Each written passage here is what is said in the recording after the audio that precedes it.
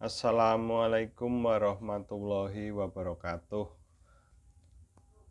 Pada kesempatan ini Mas Agus akan mereview sebuah sigmat atau orang bilang jangka sorong atau disebut juga kaliper.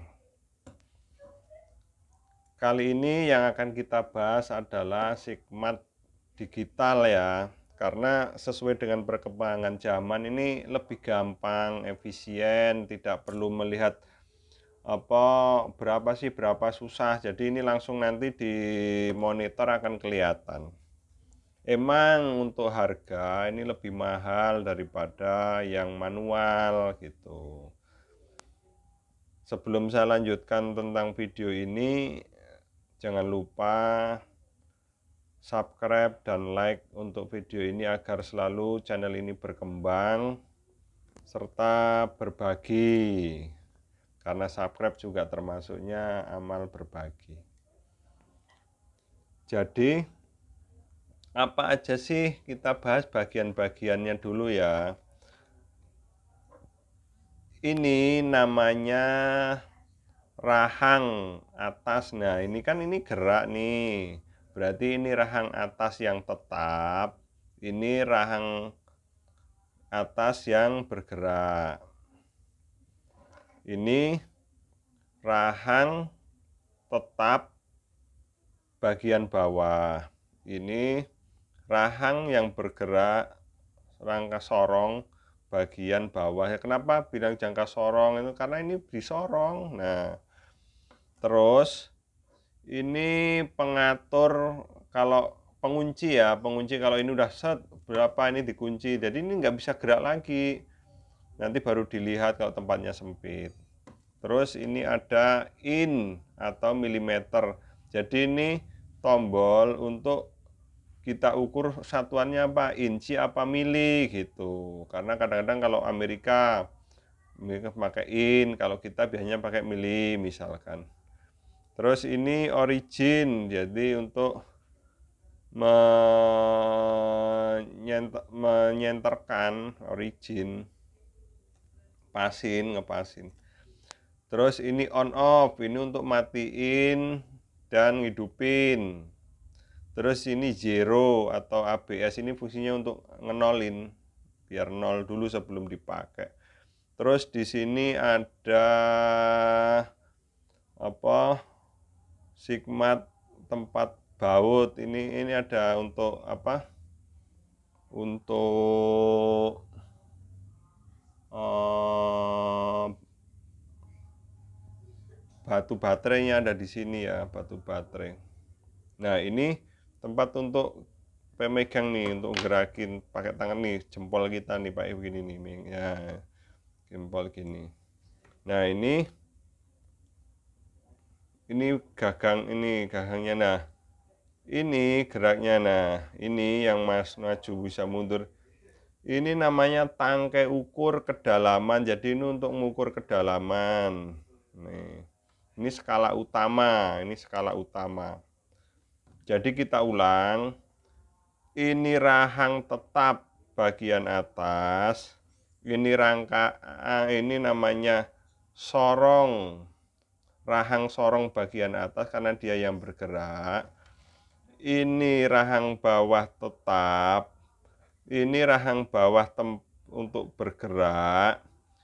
Terus ini skala skala utama ini milimeter satuannya skala utama. Ini namanya tangkai ukur untuk mengukur kedalaman. Ini ini ini harus kondisinya ini harus lur, harus rata, tidak boleh nih kalau dipegang ini tidak boleh bergelombang atau cacat atau retak atau tump nih harus rata. Terus ini harus runcing harus runcing. Ini standar ya kita ngomong standar. Nah atas juga sama ini harus runcing. Ini biasanya untuk mengukur benda nih. Contoh ini ada benda ini untuk benda bagian luar nih gini cara ngukurnya. Nih benda luar. Ini atas ini kan benda bagian dalam. Tuh benda bagian dalam. Nih untuk mengukur inner diameter atau apa pokoknya bagian dalam ya. Ini ukur bagian dalam ini ukur bagian luar. Ini. Atau misalkan ini untuk mengukur tuh gitu untuk mengukur. Nah ini kan nggak bisa ngukur begini. Ini kan bolong makanya ngukurnya pakai gini. Tuh gitu. Nah cara memakainya langkah yang pertama kita lakukan on dulu. Ini on. Nah ini untuk on off tuh kan. On mati dipencet. 0 0 0 mm berarti satuannya milimeter. 0 saat angka pertama itu ukurannya bawahnya itu komanya. Berarti dua digit ini dua digit di bawah belakang koma ya. Nah sekarang misalkan ini begini kok nggak 00 nih? Harus sampai 0 ini harus harus rapat ini rapat 0 pasti ini kalau normal. Kalau nggak rapat-rapat gimana? Ini ngenolinnya zero. Tuh zero pencet zero nih di zero pencet zero nah zero itu nol ngenolin tuh. Terus ini kan mili bagaimana menjadi inci? Ini yang dipencet. Nih inci pencet. Tuh berarti tulisannya ini inci. In nol. Berarti ada satu dua empat huruf di belakang angka. Ya kan Yes. Inci ini in. Berarti ini inci atau mili ini mencetnya ini. Tuh. Tuh. Mili. Kita mili ya, makanya ya.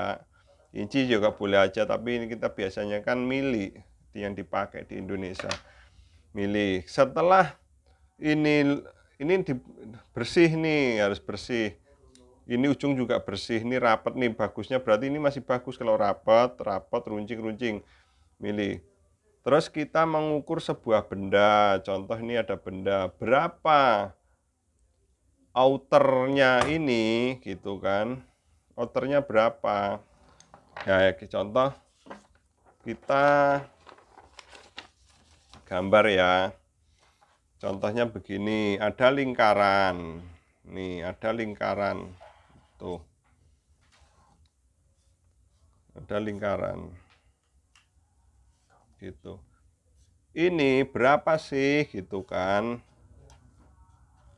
Diameternya berapa? Kita ukur diameternya. Nih ingat saat saat neken itu ada klik biasa nggak usah ditekan-tekan nggak usah. Kalau tekan kan minus tuh berarti salah. Biasa nah. Tekannya biasa aja normal. Sekarang kita ukur berapa 21,82 mm.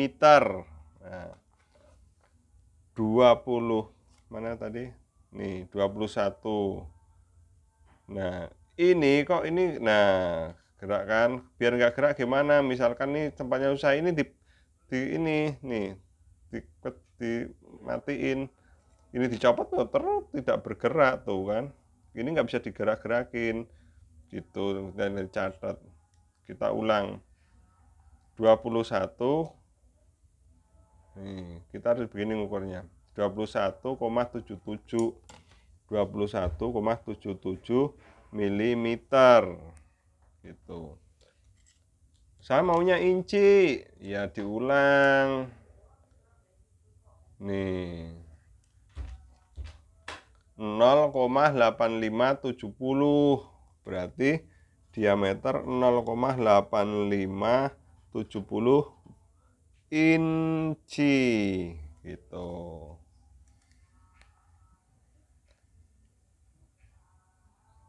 Nah, ini untuk rahang tetap yang rahang bagian bawah.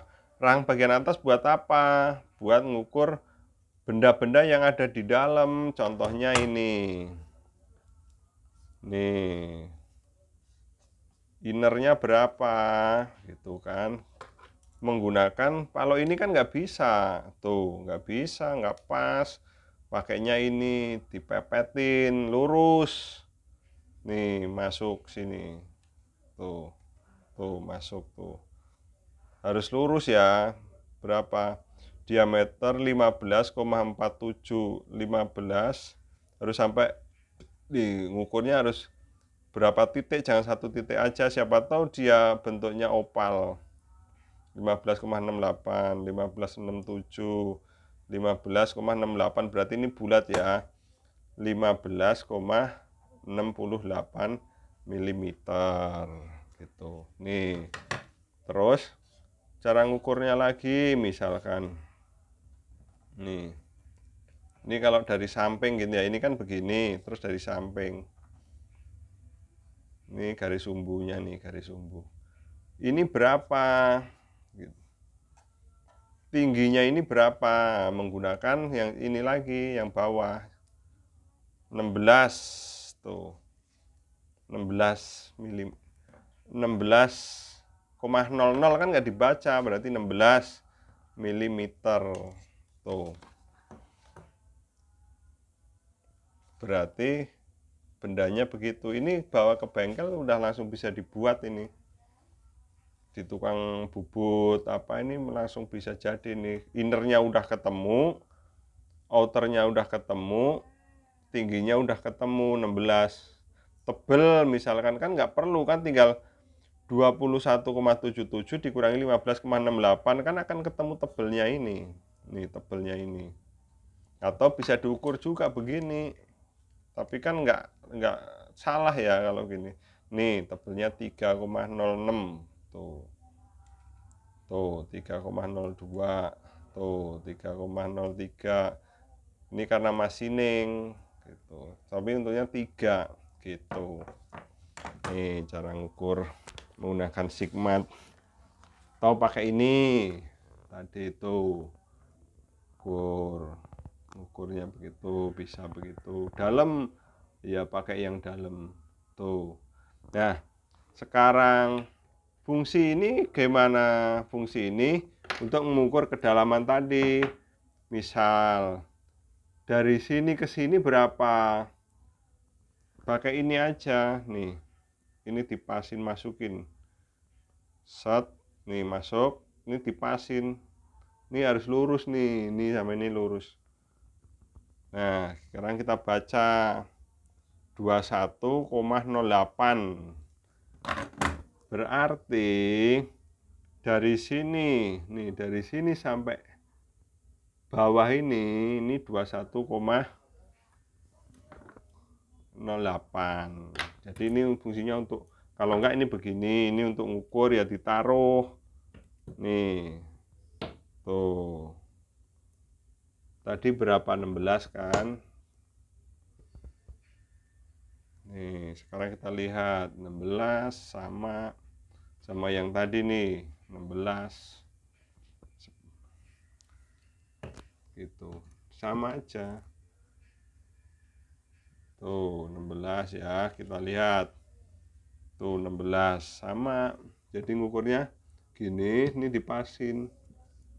Tuh pas gitu tekan-tekan tuh kayak gitu. Jelas ya. Gampang tapi inget ini nih yang perlu diingat. Cara megang ininya nih. Set gitu nggak usah tekan-tekan nggak usah. Harus ngampas saja set. Nah caranya asal gini nol berarti kamu udah bener. Tuh. Kalau ditekan terus ya jadi 0 min 0,0 atau berapa. Ini juga sama ini kan 16 ini 16 kalau ini kita tekan tuh. 15,98 ini kita tekan lagi. Jadi salah. Harus pas saja set. Tuh 16 15,99 tuh 16 mana satu. Ya sekitar itu 16 berarti itu ya kan? Jangan ditekan-tekan terus nanti jadi salah. Pasin aja. Kalau di tangan kita ini sakit berarti ini salah ngukurnya. Harus set. Udah gitu ini cara menggunakan Sigma Digital. Nih, mereknya Mitu Toyo. Ini termasuk Sigma yang bagus ini ya. Recommended ini, mahal tapi. Kalau yang biasa ya murah lah. ada satu juta gitu tergantung jadi saat kamu membeli ini ah, macam-macam ada yang tiga ada yang 200 ada yang 300 gitu ada yang panjang bentuk sigmatnya juga. Ini rahangnya ada yang bisa di bisa di apa di setting sini di setting modelnya. Jadi nanti kalau kamu mau beli dilihat fungsinya ya. Ini yang umum nih begini. Kalau ada yang ini nanti bisa disetting ini bisa ini kali ini bisa dipanjangin pendekin gitu ada jadi kamu disesuaikan dengan kebutuhannya bisa dilihat di katalog di online ya di internet bisa dicari harganya berapa merek ini harganya berapa gitu. Untuk sementara ini masih impor ini dari Jepang. Ini Jepang nih merek Jepang. Demikian tadi pembahasan singkat tentang sigmat atau dibilang di uh, sigma digital atau orang bilang juga kaliper ada juga bilang jangka sorong. Ini digital. Semoga bisa memakai untuk kalangan anak STM untuk para mekanik-mekanik yang biasa ngoprek mesin untuk orang-orang bengkel mesin bubut segala macam ini tuh kayak gini ya tuh fungsi kayak gini luarnya nih syaratnya ini harus dibersihin tadi harus bersih. Jangan ininya jangan kena cairan ya jangan kena kotoran ini harus nanti biar membacanya biar akurat. Jangan jatuh nggak boleh jatuh nggak boleh kena panas berlebih. Nah ini jangan sampai patah nih. Nih. Terus bagus lagi kalau untuk perusahaan-perusahaan yang sudah sistemnya itu udah diaudit, udah ISO ini biasanya dikalibrasi ya, dikalibrasi setiap setahun sekali sehingga layak pakai atau enggak. Alat pokoknya alat-alat yang berhubungan dengan timbangan, yang berhubungan dengan digital-digital gini ditera kalau anu katanya. Nah, ini nanti dikasih sertifikat di sini ada ditempel bahwa ini udah udah dikalibrasi. Sekarang ada sih kalibrasi misalkan independen atau kalibrasi untuk lembaga yang kalibrasi udah ada. Bisa di searching ya. Demikian pembahasan tentang sigmat kali ini. Semoga video ini bermanfaat untuk kita semua jadi ladang amal buat saya. Terima kasih dan tolong jika bermanfaat video ini, channel ini di subscribe biar terus berkembang. Eh, terima kasih. Wassalamualaikum warahmatullahi wabarakatuh. Matur nuwun.